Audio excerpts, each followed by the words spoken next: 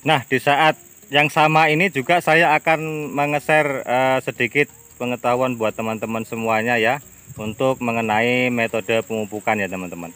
Metode pemupukan itu ada tiga teman-teman ya, ada tiga metode pemupukan yang kita kenal yaitu yang pertama adalah sistem tabur ya teman-teman ya. Sebenarnya tingkatan metode yang pertama ini sistem tabur ini uh, itu tingkatan yang paling rendah ya teman-teman, tingkatan yang paling rendah. Kenapa? Karena uh, potensi untuk penguapan itu sangat tinggi ya teman-teman. Jadi sangat mudah untuk menguap. Kemudian kalau hujan sangat mudah untuk larut. Jadi yang diserap oleh tanah itu hanya sedikit sekali, bisa cuma 55% aja. Ya, selebihnya menguap atau larut. Jadi metode yang pertama adalah metode tebar ya, itu metode yang paling rendah. Kemudian yang kedua adalah metode mulsa, teman-teman. Metode mulsa yang kedua ini yang metode sedang tapi eh, sangat bagus kalau Anda bisa menerapkan metode mulsa ini ya. Bagaimana metode mulsa ini bisa dilakukan? Metode mulsa itu bisa Anda campur dengan tanah ya. Bisa Anda campur dengan tanah atau Anda pupukkan di di, di daerah piringan kemudian Anda tutup menggunakan bisa menggunakan tanah atau bisa juga Anda menggunakan rerumputan atau pelepah dan lain sebagainya ditutupi maksudnya ya atau plastik ya, jadi supaya tidak menguap atau dia saat menguap mengenai tumpukannya itu kemudian dia bisa turun kembali. Makanya kalau ada orang petani menggunakan mulsa itu ditutup tanahnya ya supaya tidak tumbuh rumput dan pupuk yang ada di situ tidak ke mana-mana. Nah itu metode bagus sekali untuk metode mulsa untuk yang yang kedua. Paham teman-teman maksudnya ya? Nah itu untuk metode yang kedua. Kemudian yang ketiga adalah eh, benam ya. Metode yang ketiga adalah benam. Nah untuk metode benam ini yang yang sangat bagus teman-teman.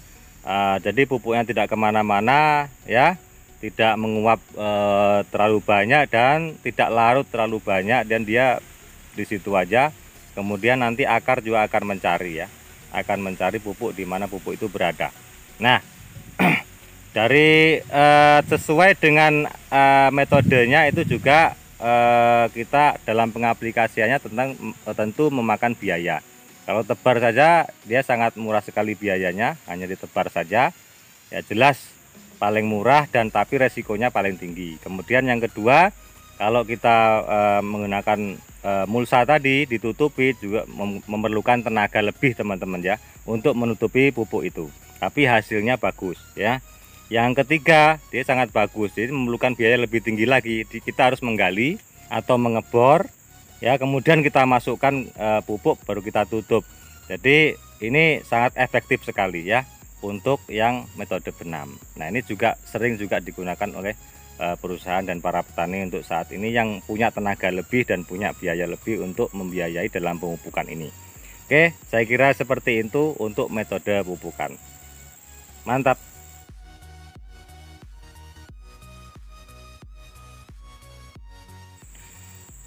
Oke sahabat tani semuanya uh, saya akan buka-bukaan dengan kebun saya ini ya yang uh, saya katakan ini lumayan berhasil ya teman-teman. Lumayan berhasil dengan pemupukan satu tahun yang lalu. Jadi di tahun 2021 di semester pertama itu saya beri dolomit 2 kilo kemudian N, uh, kemudian urea 1 kilo ya urea 1 kilo kemudian NPK 16 ya NPK 16 ya itu 2 kilo Nah ya NPK 16 2 kilo kemudian KCL 2 kilo. Saya kasih borat 100 gram ya. Saya kasih borat 100 gram. Kemudian di semester kedua itu untuk tahun 2021 semester kedua itu saya beri dolomit 1 kilo ya dolomit 1 kilo. Kemudian eh, saya kasih NPK eh, 13627 ya.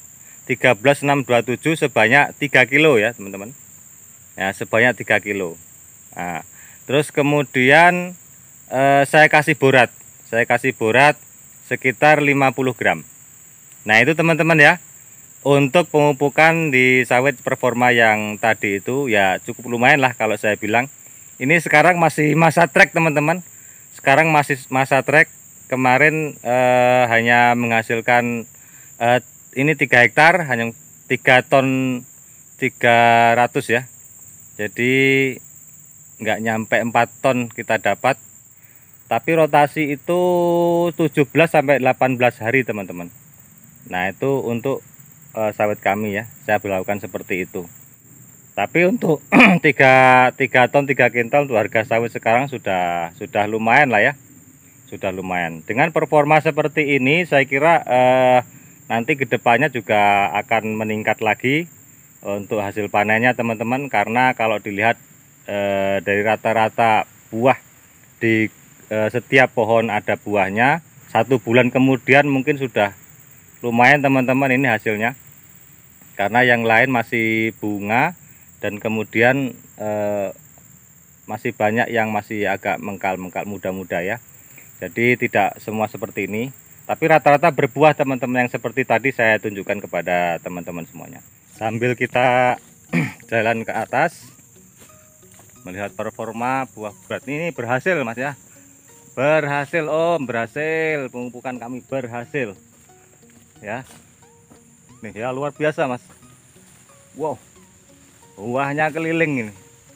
Ini sawit sekitar umur 8 tahun. Ya sekitar umur 8 tahun. Coba anda lihat ini. Wow. Luar biasa. Ya. Luar biasa buahnya ini. Mengerikan ya sobat. Wah. Mantap ini. Besar-besar buahnya. Tuh ya. Buahnya besar-besar dan keliling ya. Bisa anda lihat performanya seperti ini. Menggila ya buahnya ya. Buahnya menggila. Ini masak ini. Ini masak ini. Sudah mulai mengkal-mengkal. Ini luar biasa ya. Bahkan ada beberapa pohon nanti saya tunjukkan yang tiga tahun yang lalu mulai tiga tahun yang lalu tidak berbuah teman-teman. Jadi sekarang juga bermunculan buahnya ya. Sekarang bermunculan buahnya. Di sebelahnya ini teman-teman ya di ini. Sebenarnya ada tiga pohon. Ini pohon yang pertama teman-teman. Ini sudah lama sekali tidak berbuah sekitar tiga tahun yang lalu. Dan sekarang tuh rapat dan keliling eh, bunganya mulai bermunculan semua. Tuh ya. Ini sama sebelahnya ini. Ini teman-teman. Ini sudah tiga tahun yang lalu tidak mau berbuah. Eh, tapi bukan sawit jantan ya teman-teman. Hanya lama sekali tidak berbuah. Dan sekarang ini bermunculan buahnya. Ini sangat luar biasa teman-teman. Sudah lama sekali tidak berbuah. Ya. Ini ya ini sebelahnya juga nah. Jadi berbuah semua teman-teman. Bagus sekali. Berhasil ya. Ini sebelahnya. Tuh. Ya. Keren. Jadi eh, dua pohon sama ini yang ketiga di depan. Nah ini teman-teman. Ini yang ini sama dengan yang sana tadi. Sangat lama sekali tidak berbuah sekitar tiga tahun lamanya. Hanya apa bunga jantan terus yang keluar. Lama sekali ya. Dan baru muncul sekarang ini. Dan buahnya sangat memuaskan. Buahnya sangat besar-besar. Ya. Buahnya sangat besar-besar. Tuh. Bunganya saja segitu besarnya. Tuh ya. Sangat memuaskan ya. Ini sebelahnya di rata-rata berbuah teman-teman dan buahnya lebat dan padat sekali nah ya Oke, sampai di sini pertemuan kita. Salam kopi inspirasi 81. Semoga bermanfaat untuk ada semuanya. Eh, saya hanya menceritakan, silakan kalau ada yang mau mengikuti, kalau tidak ya tidak masalah. Wabillahi taufiq wal hidayah. Assalamualaikum warahmatullahi wabarakatuh.